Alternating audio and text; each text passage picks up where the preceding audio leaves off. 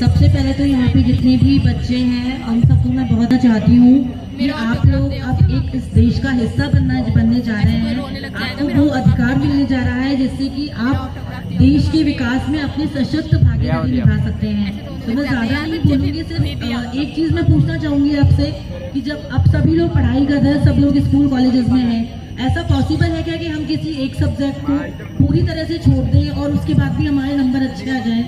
ऐसा नहीं होता ना। हर एक हर एक टॉपिक को, हर एक सब्जेक्ट को हमें कवर करके चलना होता है। तो आप ये मान सकते हो कि अगर आप वोट नहीं दोगे तो हमारा देश बहुत आगे जाएगा, हमारा देश सशक्त बनेगा।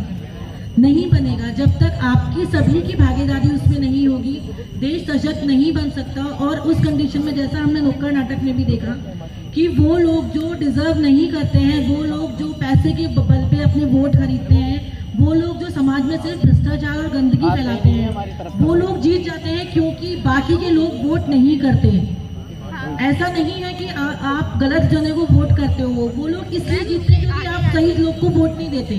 तो अपना सशक्त प्रतिनिधि चुनिए किसी भी लोभ लालच में आए बिना इतना सुंदर जो हमारा गाना है कि हमारी ताकत है हम भारत की ताकत है। हमारे अंदर पूरा भारत बसता है हमारे अंदर देश बसता है। उस ताकत को पहचाने और एक सही प्रतिनिधि का चुनाव करके बिना किसी से बायस हुए अपने मत का प्रयोग करें और देश की सशक्त अब देश को सशक्त होने में अपनी सक्रिय भागीदारी निभाएँ। ध्यान रहे एक भी मतदाता ना छूटे।